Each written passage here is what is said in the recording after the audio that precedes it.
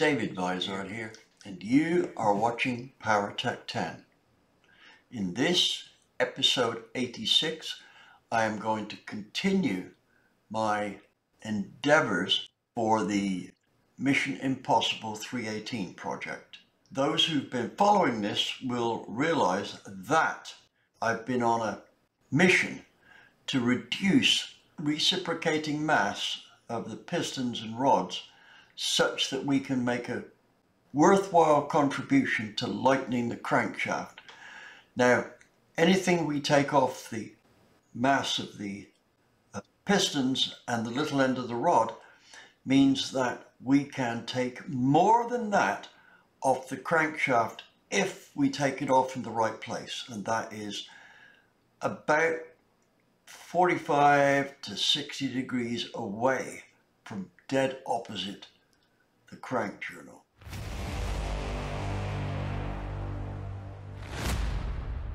Well, we've done a pretty good rod lightening exercise. Now it's time to look for a piston, which is going to hopefully save us some weight. My first two calls were to Icon and DSS. Now, I called DSS and uh, I just want to say it was only a short while in before I mentioned that it, this was for a St. Jude's deal and they volunteered the Pistons, right? So there's another company that's in quotes socially responsible. Now, I don't have a sample of their piston because they offered to make a custom set and I knew that these at around a grand a set were going to be out of our budget. But let me tell you about the piston anyway because for those of you who've got Chevrolet engines they do make a lightweight one and if you've got a project that you want to have a totally custom piston DSS is a great company to go to. A thousand dollars for a totally machined piston to your spec is not very expensive. Here's a piston DSS made for me for a turbo small block Ford. Notice the X pattern on the skirt. This is a patented uh, deal for DSS and what it does is essentially pump oil from the bore to the pan.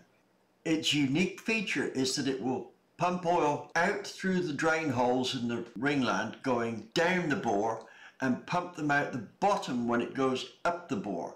So the ring kind of acts like it's um, sort of poor one-way valve.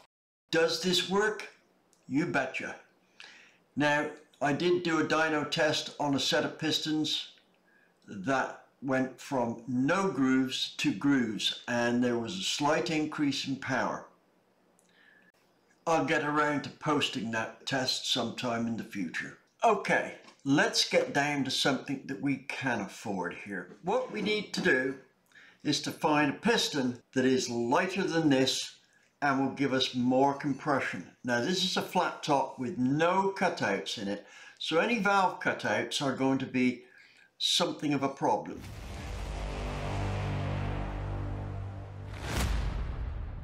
Also, the compression height, that's the distance from the center of the pin to the top of the piston, is taller so that this piston comes fairly close to the top of the block.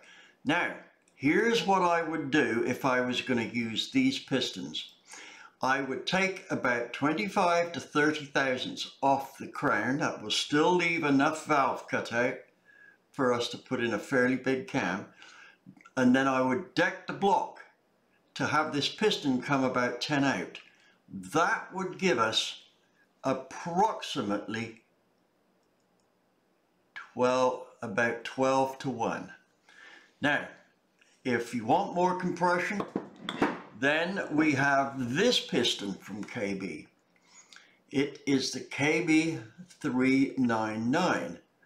Now, with a, a dome like this, this piston will, if we get the uh, chamber volume down to the uh, 56 or 58 cc shown in episode 81, we can just about get a 13 and a half to 1 compression.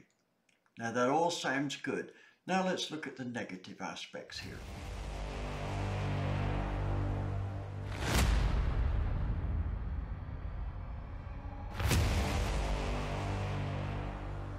Let's look at this KB piston here.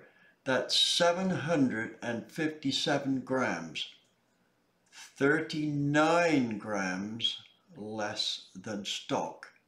Not a big weight saving.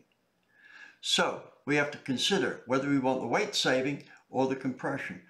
Now, I did say we were going to shoot for 10.5 to 11 to 1. So let's say you might want to do something different to us. Now here's your route to more compression, but a heavier piston. Now let's look at the KB flat top piston. That's KB 167. 707 grams, it's upside down, right?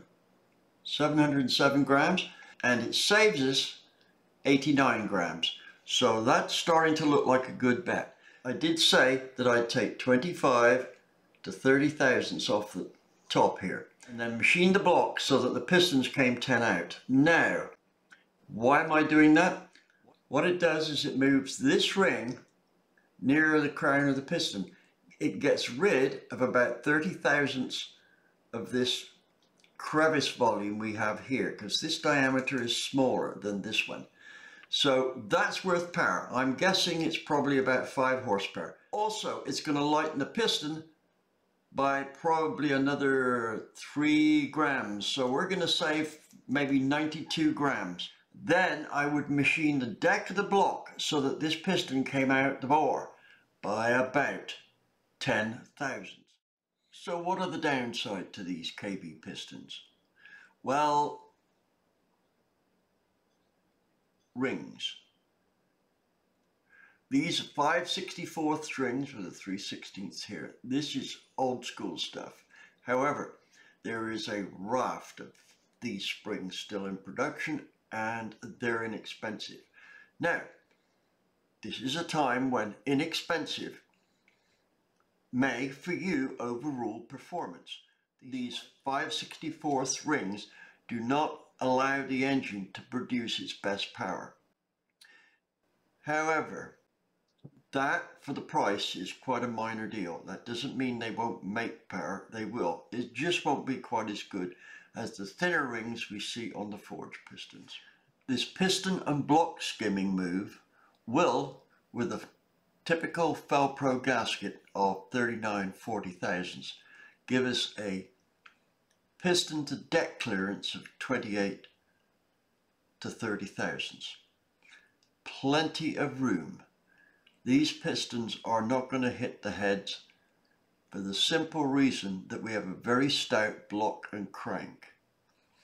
I haven't tried it, but I'm pretty sure we could drop that down to around 22 thousandths if the piston was a good fit in the bore. But I'm not going to try going there until I've actually tried going there.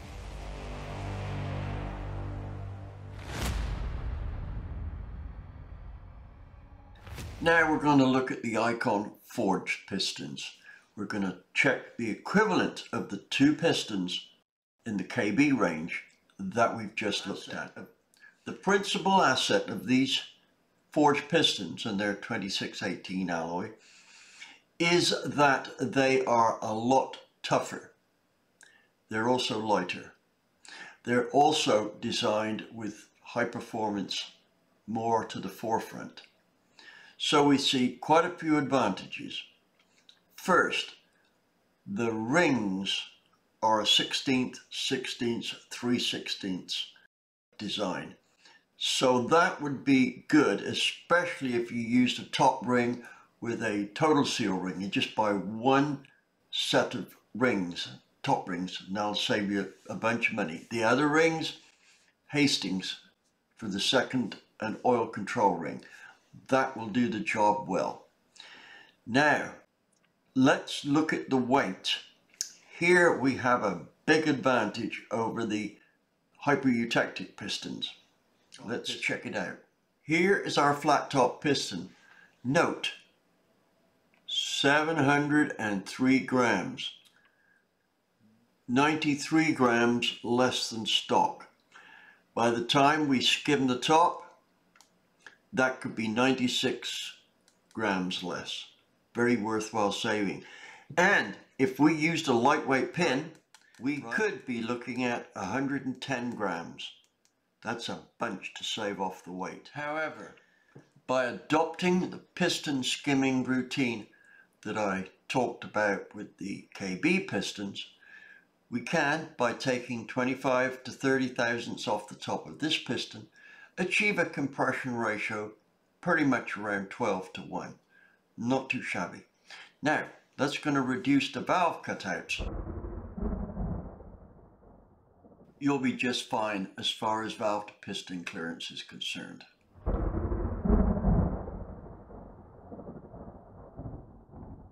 If you are looking for that higher compression from the dome piston that Icon offer, then we are going to save 57 grams. These weigh in at 739. This is a piston I strongly recommend using the lightweight pin with.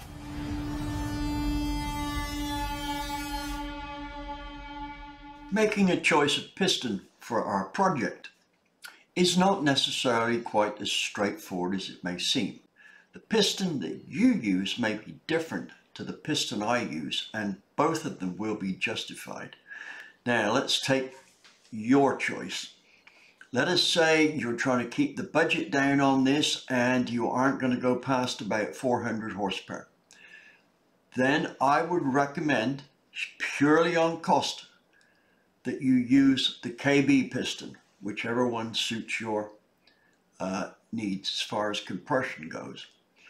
Now, we could use that one, but by the time I got to the end of where I'm going for this build, I am going to run out of capacity with those pistons. So I am going to use the forged pistons, right? That is so that I don't break pistons at the end when we're probably close to 450 horsepower, maybe a bit more. So that's why there's the difference. Now, as for the price difference, the forged pistons are going to be about $350 more.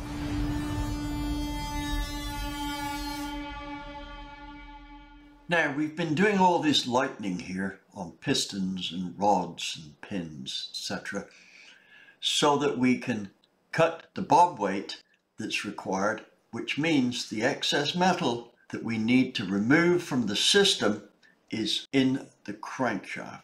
The idea there is that we can cut both windage and moment of inertia. Question now is, just how much can we take out of that crank? Was all this effort worth it? Let's take a look and see.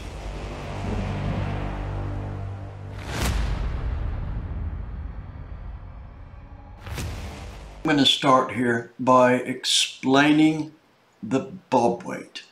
This is the weight that goes on the big end journal when a crank is balanced. It is meant to represent the mass of the connecting rod and piston assembly. Now, we can see that one end of the rod, the big end, is rotating, but the other end of the rod is reciprocating. The, to get uh, a neutral balanced crank that is not overbalanced or underbalanced, the formula is twice the rotating mass plus one reciprocating mass.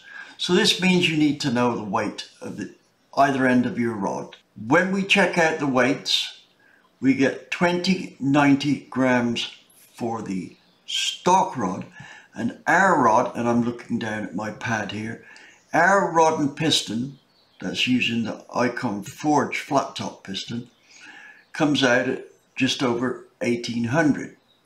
Now, let's look and see what kind of mass of iron that represents. In terms of weight, we're saving 280 grams per bob weight. Now, we've got four bob weights. So our total savings comes to 4 times 280. That would be uh, 280, 560, 1,120 grams. Now you may wonder what a 1,120 grams of steel looks like. Well, I'll show you. We've saved that much on our bob weights. That's a substantial amount. If we took all the metal off directly opposite to the big end journal, that's about the center of the counterweight, then we would expect to take about two and a half pounds off the crankshaft. So our total reduction in weight would be five pounds. However, take a look at this diagram.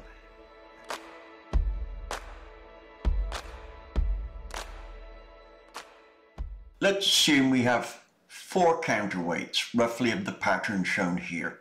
Assuming that the radius of the counterweight is appropriate, then we have to take the equivalent of 280 grams off at point A.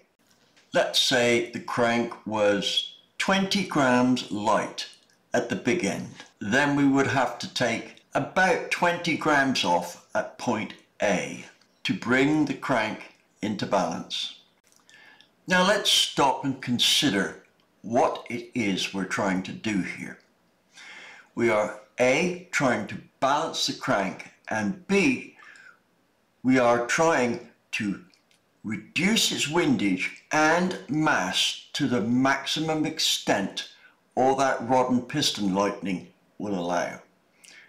Taking metal off at point A does not serve our purpose very well. What we need to do is to take metal off as far from that point as possible around the counterweight.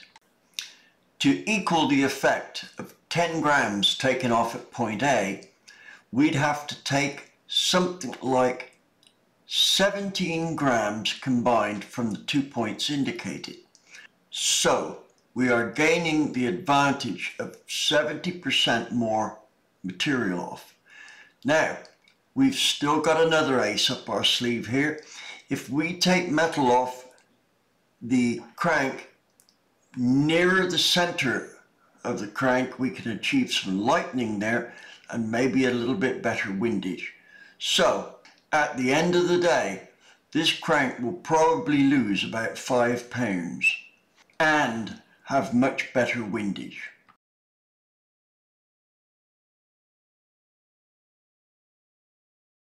I'm sure there's plenty of you just can't wait to see what I've done to the crank.